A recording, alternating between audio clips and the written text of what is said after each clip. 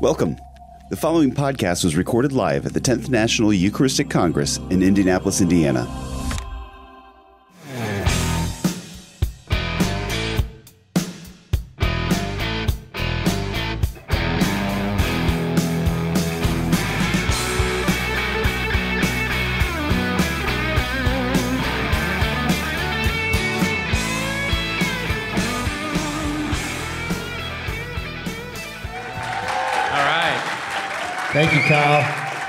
Thank you, uh, Max Studios. Welcome, everybody. So I think this is our first live talk show. Uh, we're missing Ryan Scheel. He's sick this week. He sends his regards.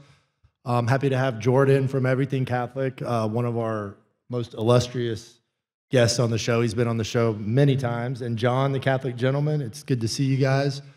Uh, we're at the National Eucharistic Congress in Indiana. Um, we're at our first day. Uh, it's good to see all you people here live uh, uh, with us. And so, yeah, so we're just going to jump in. Um, you know, the Eucharist is uh, is the source and summit of our faith. So uh, I know you guys have been hearing a lot about it, starting with Mass this morning from Cardinal Dolan. But uh, yeah, so we're just, we're just going to dive into to our Eucharistic testimonies and maybe um, you know get into how we live our lives uh, through the Eucharist uh, in our in our daily lives and our vocations as fathers um, and working in in the church. So Yeah, John, absolutely. welcome. Yeah. Well, this is my fourth time being on the Catholic Talk Show. So, um, I'm an expert now. Uh, but yeah, no, I'm really blessed to be here. It's such a joy. Um, I just am so grateful to see all the movement and the Holy Spirit. I, I did pull up a scripture here because it was what I was feeling yesterday when I was here, and that's from Romans 12. Do not be conformed to the pattern of this world, but be transformed by the renewing of your mind. And I feel like we all have this opportunity here in a very unique way to be transformed, right? I mean, oh, 60,000 people are in one location. I mean, if that doesn't provide hope, if that doesn't provide excitement, if that doesn't provide power and grace for the Holy Eucharist uh, to just set forth. And for me personally, I've been thinking a lot about how, you know, I came here with my own problems, came here with my own opinions, and and I just want to I want to remove that, and I want to be transformed and renewed in my mind uh, by Christ in the Eucharist. So that's what I'm hoping for here. Amen. Amen. Jordan, Yeah, no, happy to be here. Um, sport the new mustache, man. I like it. right, very much. I like it.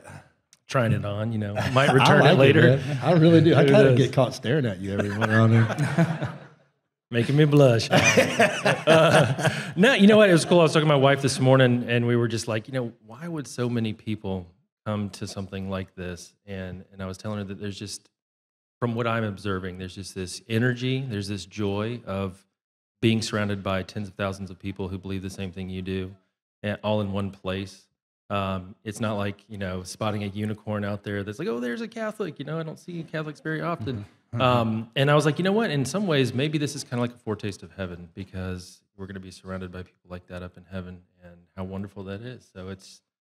I love walking down the halls and seeing like little flocks of sisters running around. I think Yeah. it's the most amazing thing. It is. They all move in flocks. Oh yeah, the friars are packs, but the sisters are flocks, right? It is a it is a Catholic conference, you know. Uh, you know the parking lots and people trying to get out. There's a few pushers out there, you know, moving people around walking.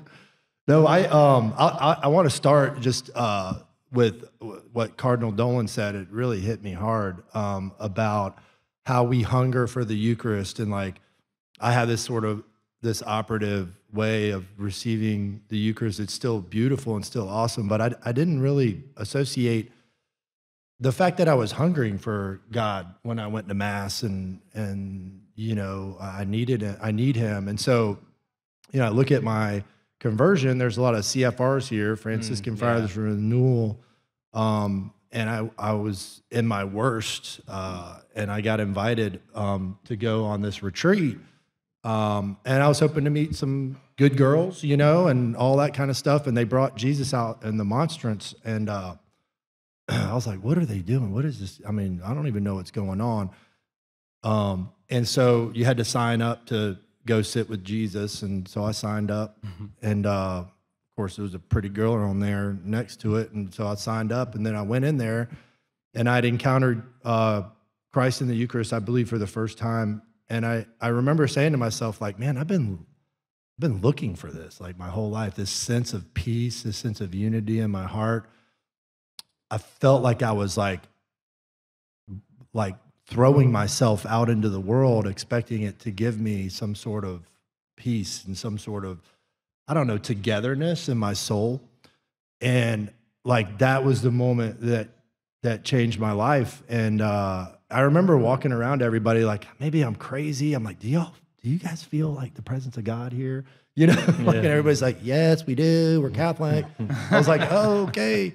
But um, yeah, and then you know, moved next door to a perpetual adoration chapel and was in there every day for, I mean, probably a year and a half before I went to the seminary.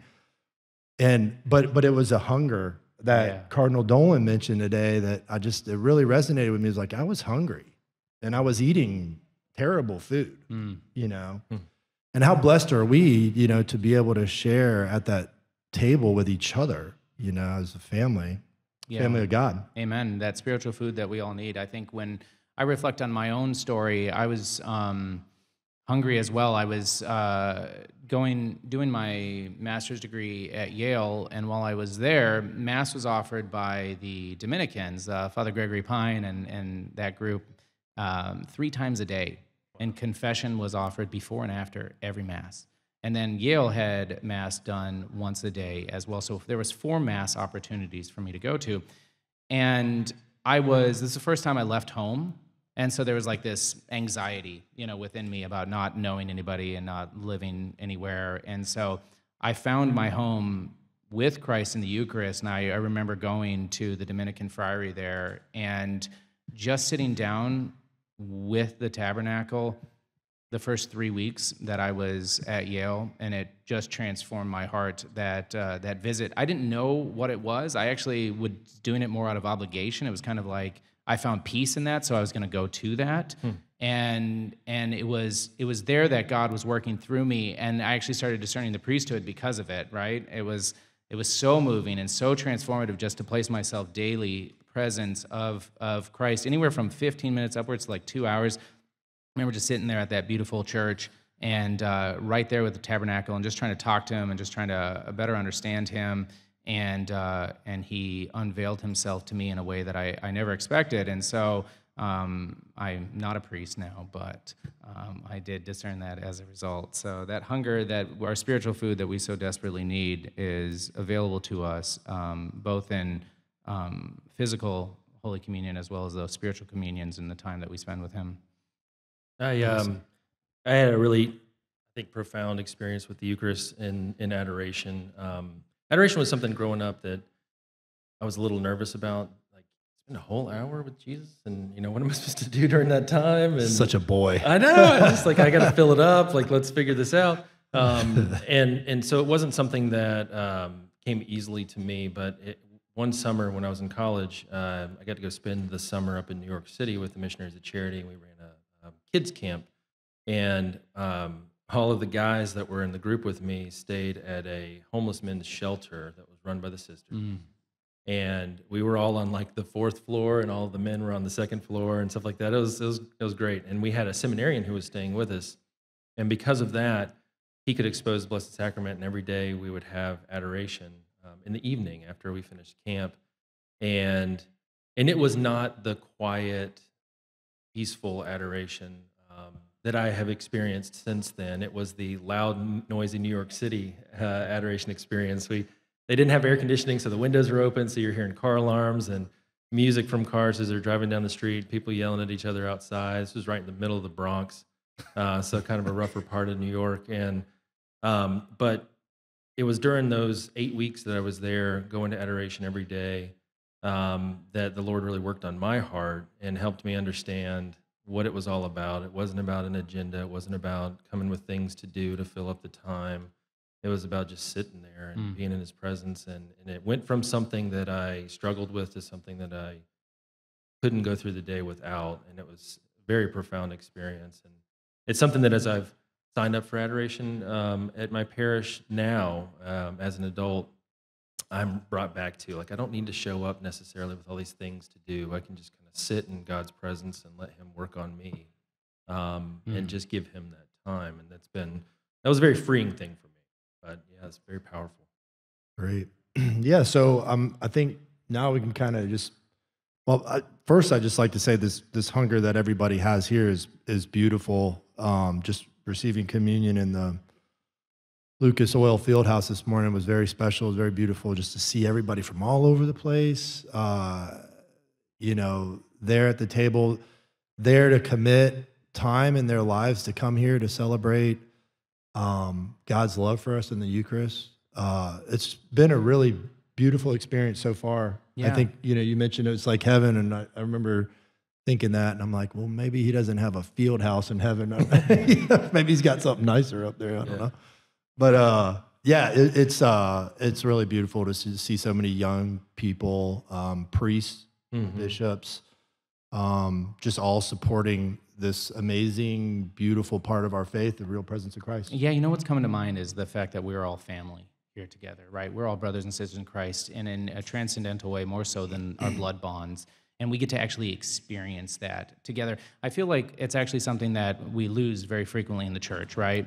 This idea we're going, we're going to be missionaries, we're going to go out and we're going to bring people into the church. That we tend to lose sight of the magnitude of our family here and the fact that we are brothers and sisters together as one in communion and we get to experience that in holy communion together is just so moving and honestly i mean you never know what to expect at these things but you can like physically feel the grace as it's moving through in these locations from people from every corner guam right? Every corner of of the world um, of our you know united states here uh, coming together to to share in that communion. And I, I guess I just encourage myself, encourage all of you guys to remember the family bond that we have here, how we are all in this together and we are all struggling with this together, and the sufferings that we endure, we endure together as body, uh, body of Christ, as members of Christ. And, and that's just one thing that I am going to take with me and just uh, joy uh, to have been able to celebrate all that with you guys. Yeah, it's one thing about the show and just seeing uh, listeners here. They're praying for my wife. Like these are these are these are prayers, you know, that they're praying, and it, it's, you know, somebody told me like we're we're all monstrances when we receive Christ in the Eucharist. We take it into the world. Um, we take Him into the world uh, in that very particular sacramental way. um, and it's great just experiencing the response of prayer from from folks that listen to the talk show from my parish back home just the support that we've been given uh, allowing people to love my family my wife this way Why don't you share a Um, little bit about what Jen's going through for those who might not know?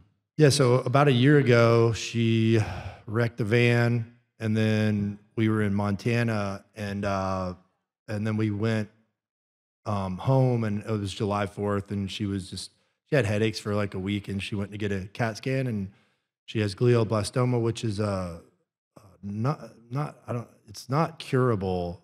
Um, some people have had remission in it, but not many, and um, so they removed a, a tumor out of her uh, head that was the size of a golf ball. It was in a really good spot where you know her speech wasn't affected, various functions of her brain that could have potentially been harmed were not harmed.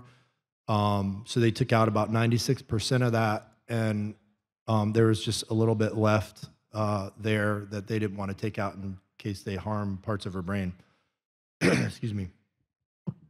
And um, so from that, obviously, like chemo, radiation, and then, um, you know, that worked in a sense where the tumors didn't grow, but you can't really radiate a brain um, constantly. Uh, that's just not a, it's not a good, good thing for a person.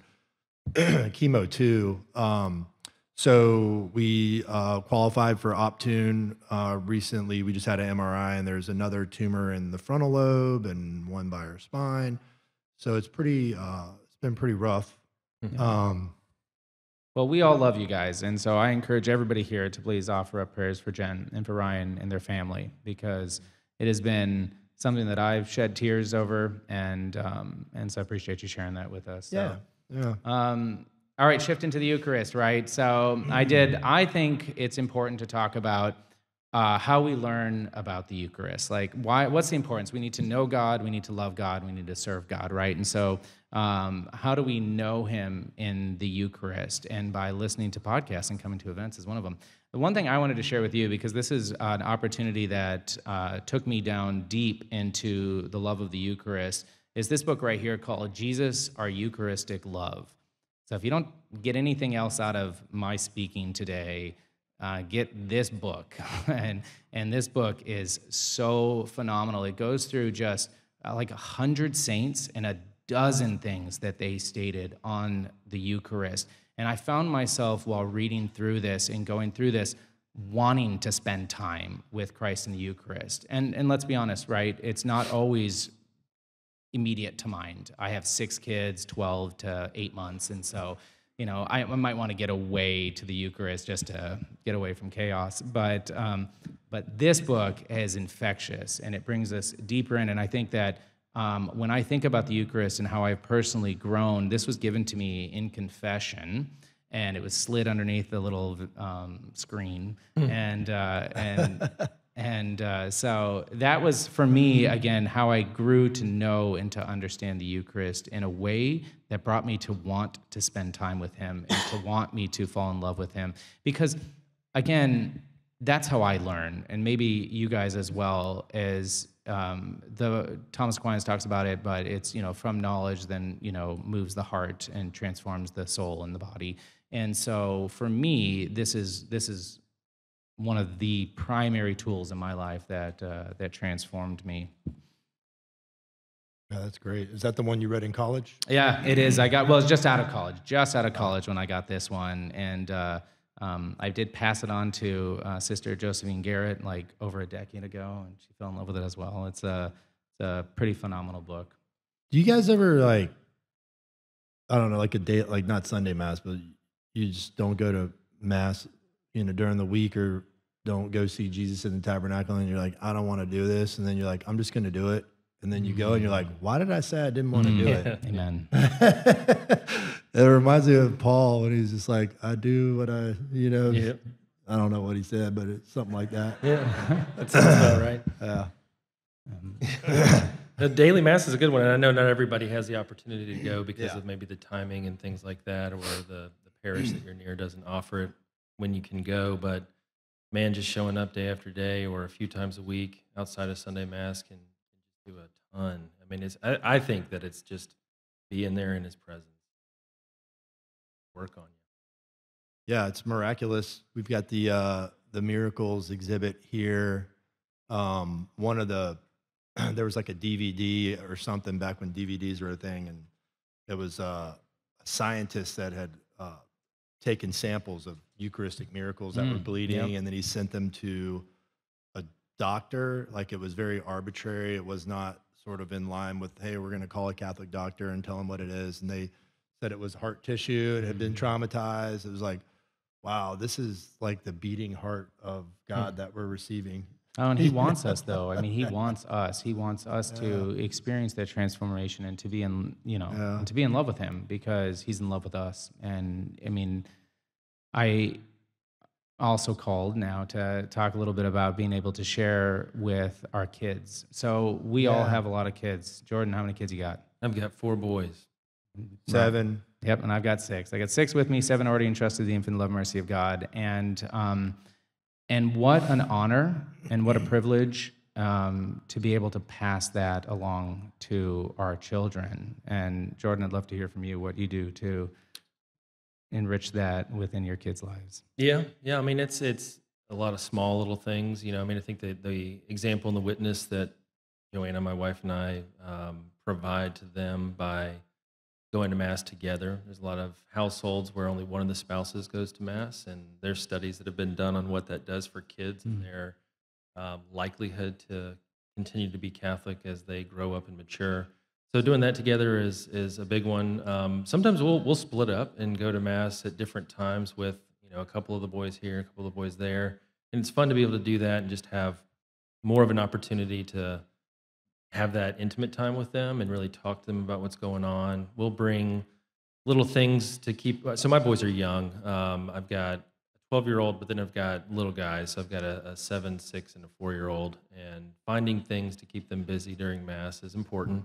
And um, we'll bring little things that help them understand the different parts of the Mass, um, what's going on, why this is happening, why that's happening. They like to look around and see the statues and talk about those. And um, I think also, you know, trying to have them go up and, and meet and talk to the priests and normalize that for them, you know, like the, the this is somebody that's going to be a part of their life and that they you know, should be used to seeing priests and things like that. I think those are important things to do. Um, you know, so lots of little things like that are, are just kind of where we are right now. Yeah, they build up. And um, Ryan, what about you? Your Uh, family? I think it's im- important for like like you said uh, that both the husband and the wife uh, share a love or an understanding of the Eucharist and the importance of it and the centrality of it, not just to our faith, but also in the home. Um, you know, I was just thinking about, I was like laughing because I'm thinking about you and your four boys and what you do it in bits and pieces. um, but yeah, like, uh, you know, obviously uh, educating them and, and, and showing, educating them through, through your life and showing them that this is a, this is a part of your life. This is the most important part of our life. Um, and then, you know, as my children get older, uh, you know, it's sending them to, to camps and places where they can be by themselves with peers and, you know, all the things that are important to their uh, development of their faith with around their peers is a very important thing.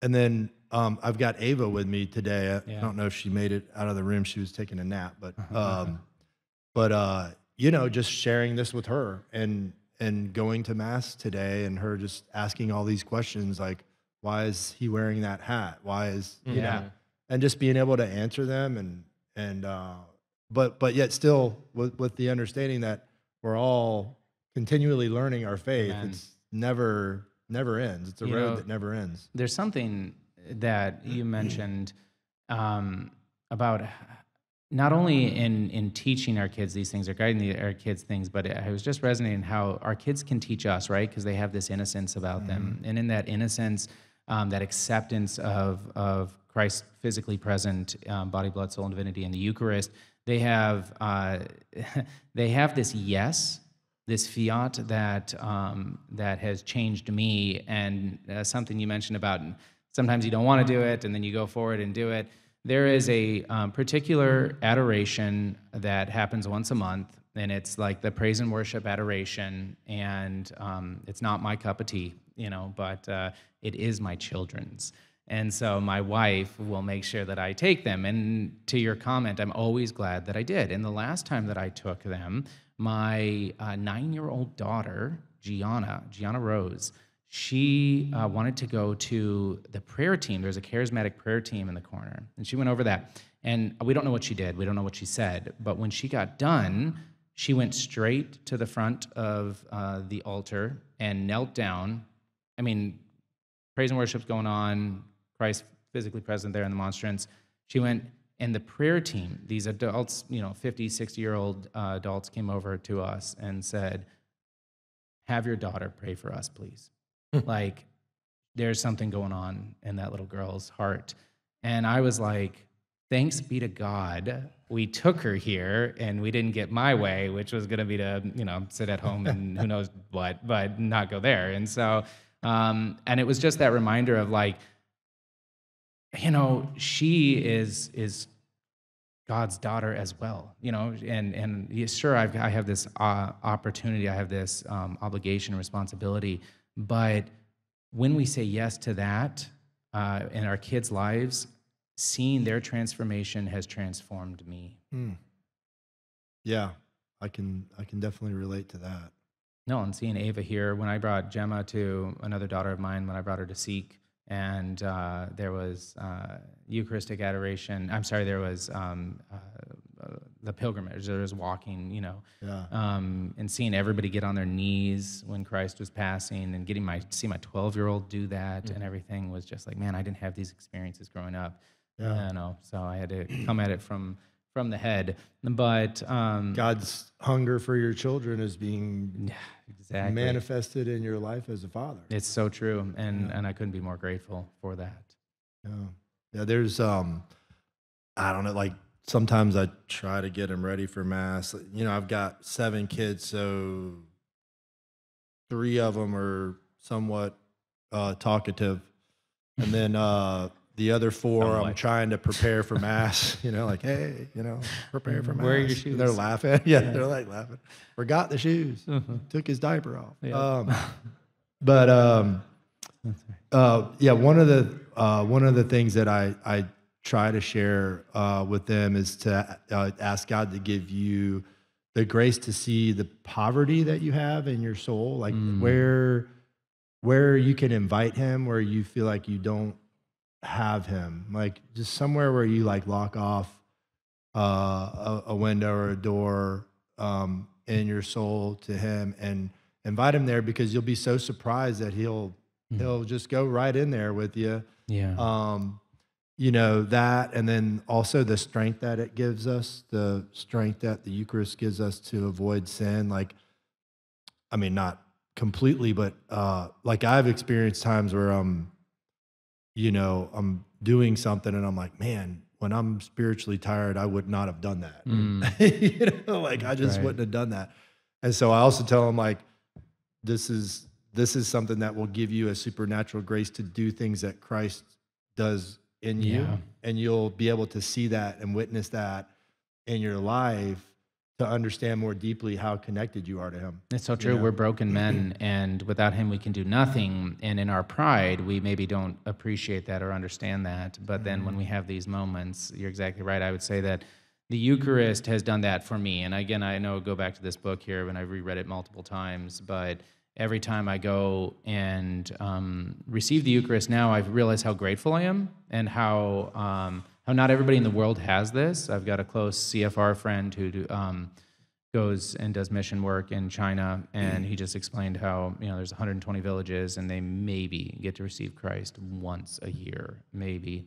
And um, and so again, that transforming effect of of the Eucharist in our brokenness is something that I am so grateful for, and something I always need to go back to. And by God's grace, I'm able to experience on a regular basis. You know, I think one of the things that I have not done personally, but I've heard other people share about that would be a really cool experience is because of the the universality of the church, going to other cultures to experience how they Mm. experience the Eucharist. Like I, um, our good friend Ennie Hickman, I remember him telling a story one time about going to Africa, and, and there was this big mass, and everybody's just like this amazing celebration, and and people are are just going bananas over the fact that there's the Eucharist, like going nuts, right? And and you know you you would not see that if you came into a church here in the U.S. You know, in the way that they do it, and it's a Oh, different yeah. culture, but there's something infectious about that where it's just like that's Jesus Mm, Yeah. right there. I got to serve at a mass very similar to this one in at the American Airlines Ar- Arena in Miami, where I was in the seminary, and for every section, it was for Our Lady of Caridad. It was the the Cuban title uh, there, and uh, so we're giving uh, communion out, and I noticed that they there's no lines. Everybody just kind of presses in to Jesus. It's actually really beautiful yeah, Yeah. um, you know, and how like you know, the we're just- crowds pressing in on them. that's it. Yeah. I was just like, you know, this is this is awesome. Like this is how they this is how they hunger, Mhm. you know. Um, and even going to like Our Lady of Guadalupe, and we went on a pilgrimage to Portugal, Spain, just seeing the different um, the different hungers, like like uh, uh, Cardinal Dolan was talking about how they approach this magnificent gift that God's given us Right. to um, to just fill our hearts, you know. Yeah. I'm thinking about how when COVID hit, how we didn't get to Mhm. experience Christ and the Eucharist and how that was um, it was very difficult for me. It was something that I, um, in fact, I'm still renewing my mind um, uh, to uh, because of that. But one of the fruits of it, I would say, is um, practicing spiritual communion. And I don't know if you guys know that Saint Alphonsus prayer, but I encourage you guys. First time I ever heard about it again in this book. Um, and Did you write that book? I or know. something? I, I mean, know, like this I is. I just read it that many times. Um, He may or may You not can buy get it a at commission from everything yeah, Catholic. exactly.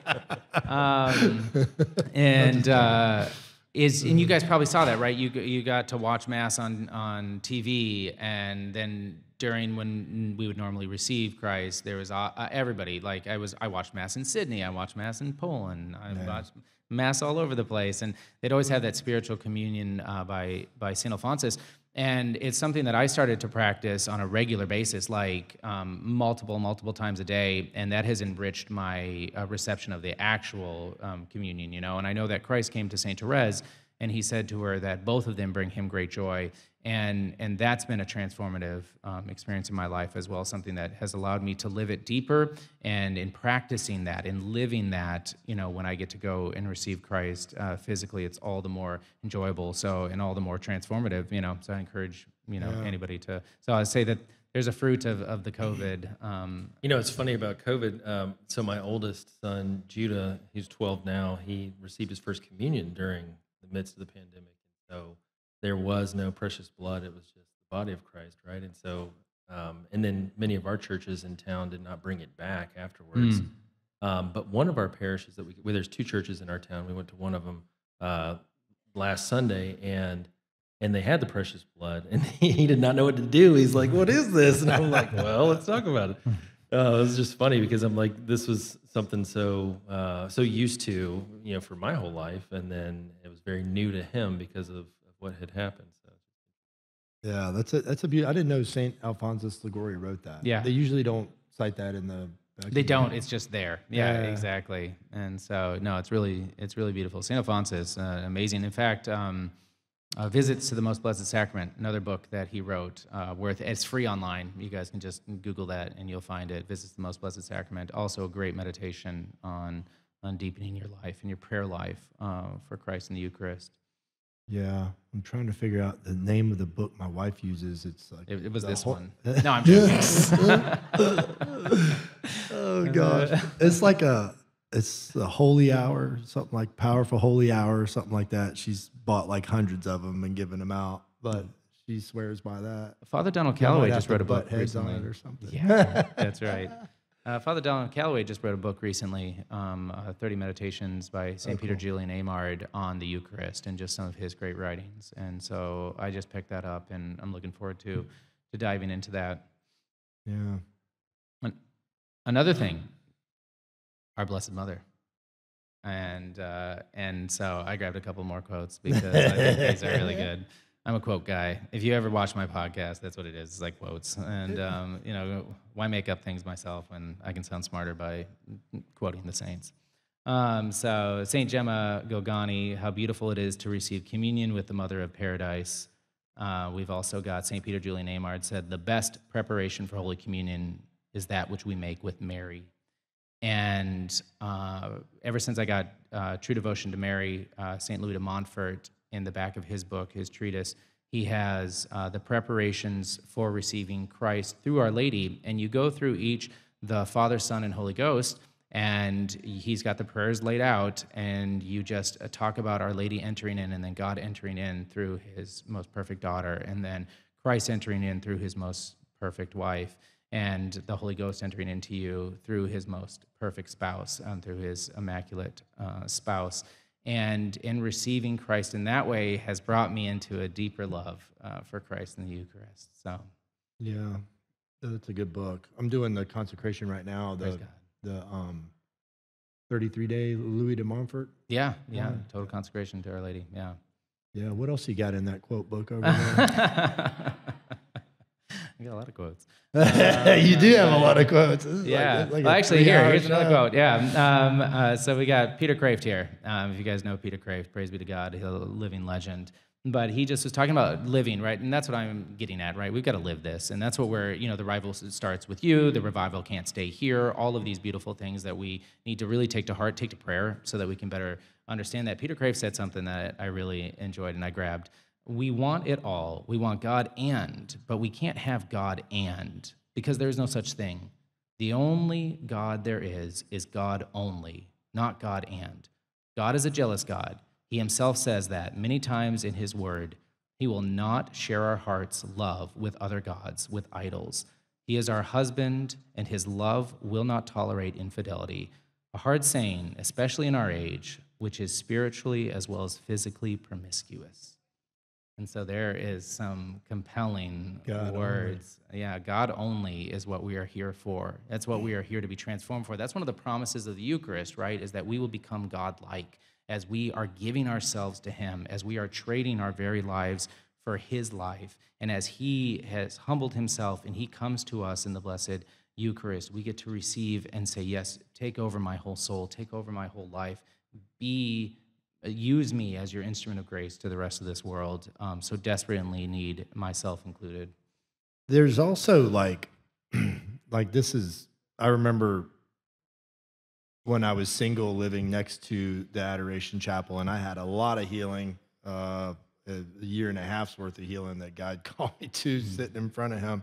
Beautiful year and a half. Um, and then after the seminary, I got married, and then we started having kids. And when I was married, I had a, um, we, I was a youth minister, and so I was around church all the time. I got to pray all the time, and then, um, and then we started having more kids, and then I remember like my prayer life was like it couldn't be the same, and so I talked to a priest, and I'm like, I just I'm not praying like I should, this and that, and he was very wise. He told me that you know that you're gonna have uh, circumstances in your life that that force you to pivot your spiritual practices, right?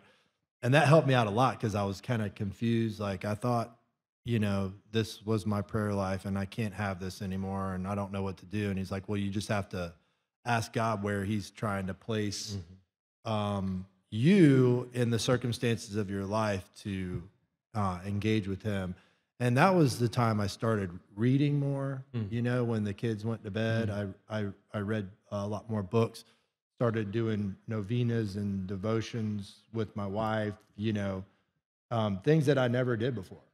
And it opened up a whole nother world. That's why it's like God's just so vast in what he can do in your life that even pivoting from the circumstances in your, in your life, he still floods your soul with his grace, you know, and and it and it continually changes. I'm sure I'm not in the only uh, you know, circumstances that I'm in now. It's just like even with my wife, our prayer life has changed.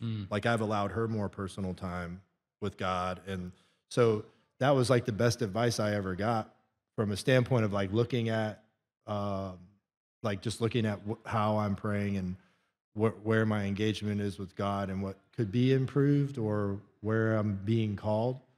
Um, that that was really good advice, and I think a, a lot of you probably have experienced something like that too. I was pretty young when it happened, so Yeah. you know.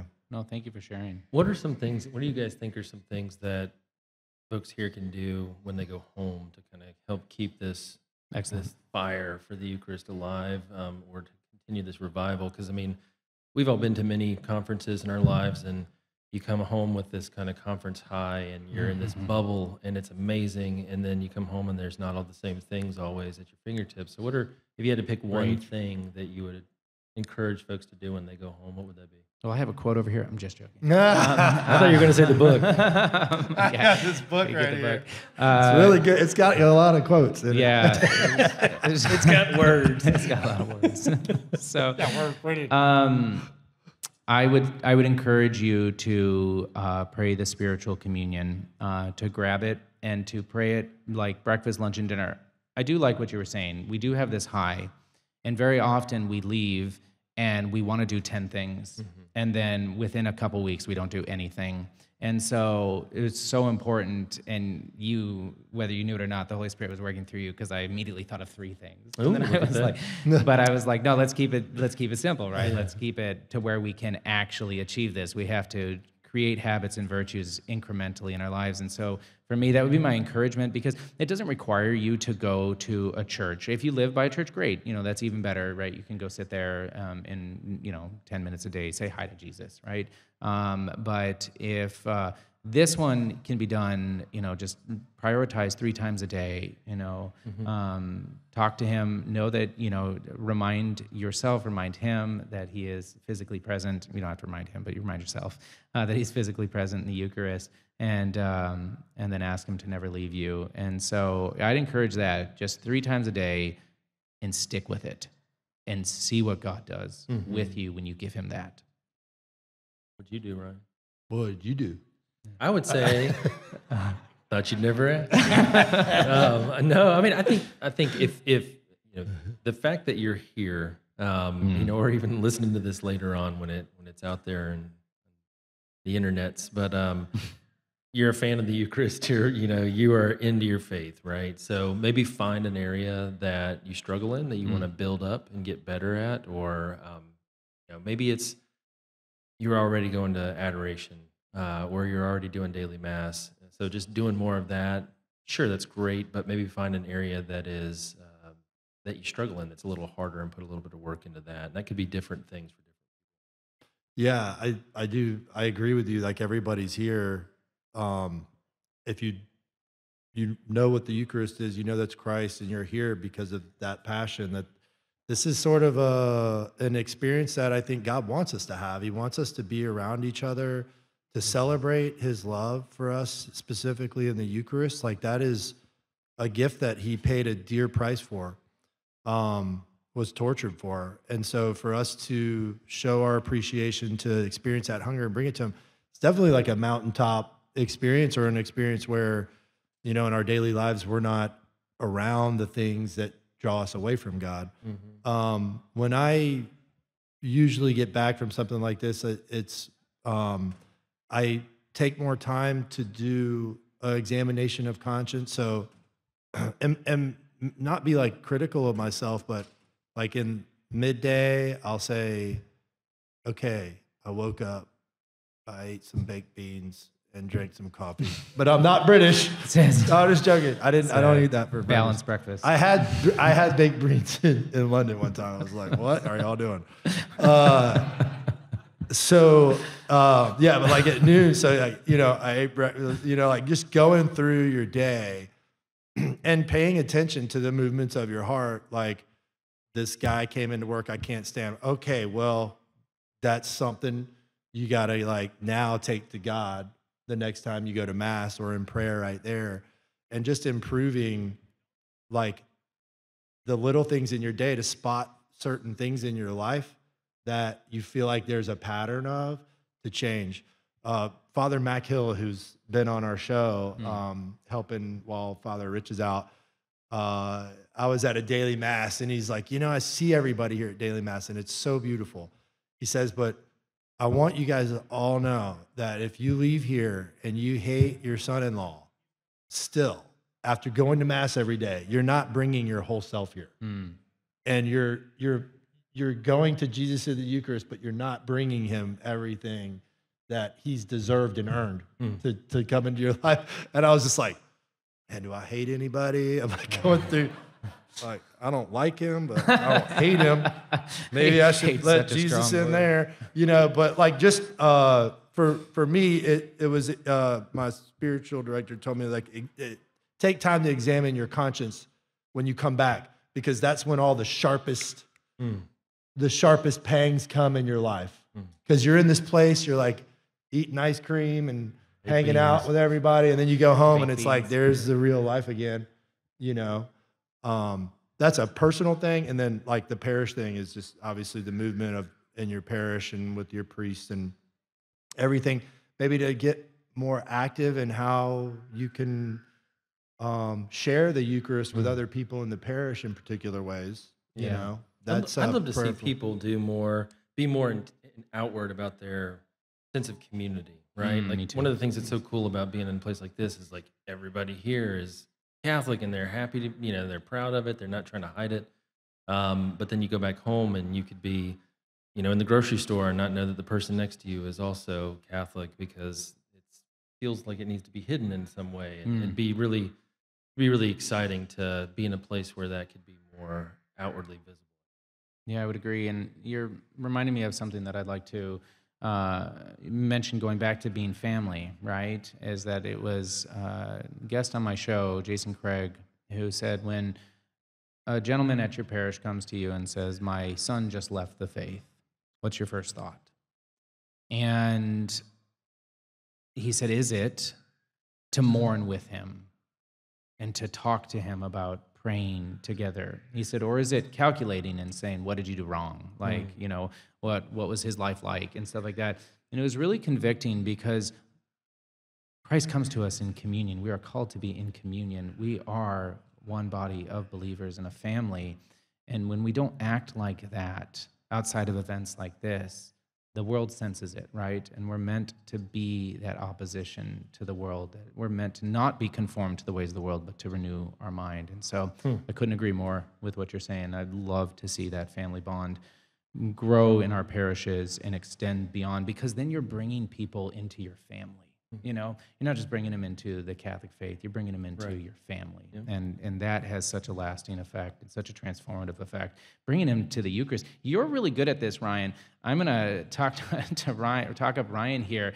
The amount of times i've seen ryan walk up to a homeless guy and give him a hug or walk up to somebody and invite them to adoration it's i've never i don't know anybody else that that i in my life that does this just readily. Like there's this sense within Ryan here of love that that he pours forth and that he comes out with, and it's it's shocking to me. It's you've shocked me many a time, um, you know. Or a lady gets up at mass, right, because she doesn't like something that the priest states, and then Ryan jumps up and goes after her, not to argue with her, but to share love with her and to try and bring her back. There's this real um, beauty and sense of of uh, community that that so thank you for that ryan it's been a testament to me many times uh, in our I'd, relationship I'd like to thank Spanky of Indianapolis because he was a homeless guy that gave me his jacket. I was cold, and the guy gave me his jacket. wow Can you believe Yeah. that? well i mean you you went up to him so Yeah. yeah, We took him to dinner after that. Yeah. he's a really cool guy. I tried to get him in here. I think it was like Seek or something like that. Yeah. I tried to sneak him in. It was pretty funny. he does He's a good dude. right? I was like, you got to do this, man. It's adoration. He's like, what's adoration? You know, I'm like telling him about it. And that's right Yeah, and there's no expectations it's just show up you know that's it. You just show up. There's uh gosh, probably there there's a, a priest now in uh, Kentucky. And my pastor in DC was like, you need to go by this guy's house. He's going down to the evangelical barn down there. His parents aren't Catholic.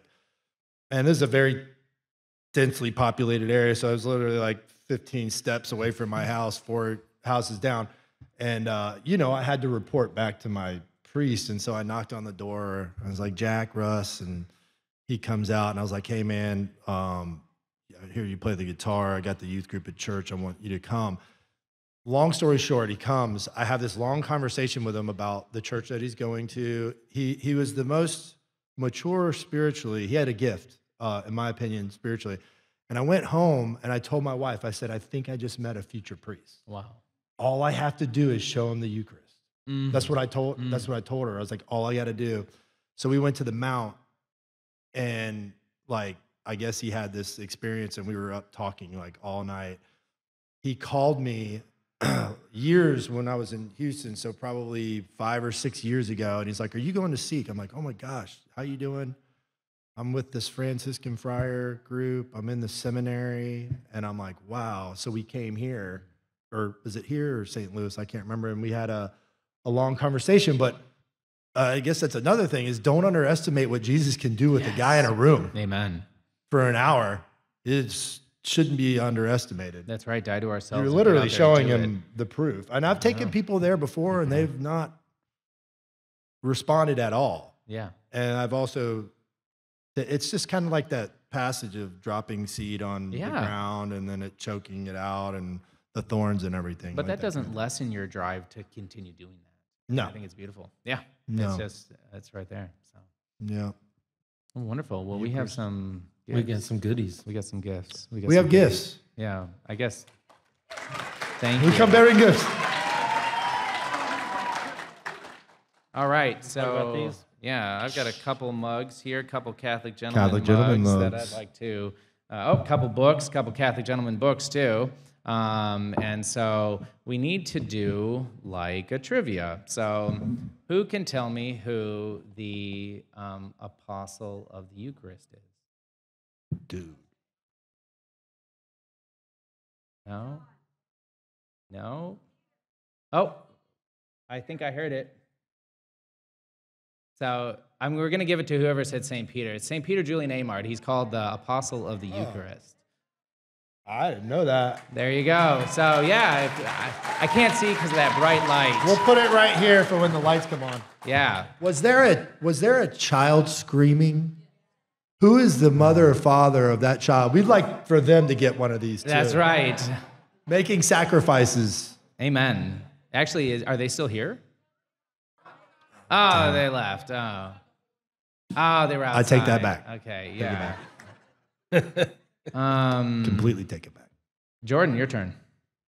Okay. Um, so I've got a couple goodies here uh, from everythingcatholic.com. We've got our chrism scented beeswax candle, delicious. And then we've got uh, chrism scented organic lotion and room or body spray. Um, so if your room or you smell not so great, Not like Chrism. these are awesome. They are awesome. Um, I agree. So we'd like to give this bundle away to somebody. Um, and my question is who here has seen three different flocks of religious sisters and can name what those religious orders are? Got to be a flock. Two or more, or one or more, or no, Where- two or more. Where two, two more. or more are gathered, Yeah, it's yeah, a flock. It's a flock.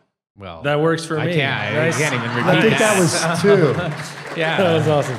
All right, well, you come up and claim this when we're done. That's great. Yeah, let's do the same thing, but for um, priestly orders or friars or something like that. Does anybody has they? Oh, we got one right here. Perfect. Nice. All right. Awesome. And what amazing apparition of our Blessed Mother occurred at the early 1900s? Yep, Fatima. Whoever said that first. Over here. All right. Nice. Perfect. Well, thank you guys so very much for joining us today. It's, it's just a pleasure. And we're so grateful for you being here. You will be in all of our prayers. Yeah, thank you guys. Yeah. Um, and yeah, uh, Ryan's doing better. Had a little health scare last week, but he's doing better, and he um, has been talking to us and uh, wishes you all the best Yeah. here this week. Agreed. Jen's doing all right. The medical stuff is not good, but she's doing well. Um, she's got amazing, very strong faith. She does. She's just drawing people into God's love somehow doing that. It's just amazing. Um, but medically, it's not good. So we're just going to continue to pray for her, and we've got her going into more trials and stuff like that. So it's been a been quite a journey. Yeah. Well, I know you are. Thank you. praise God. Thank you. All right. Thanks, Max Studios. Hey, this has been fun, guys. Yeah. Yeah. Now you're on five times, and you're like six now. Sure. Mic drop. Sure. sure. Well, drop the mic. God bless you guys. Thanks, All right, y'all. God bless Thanks for everyone. coming out.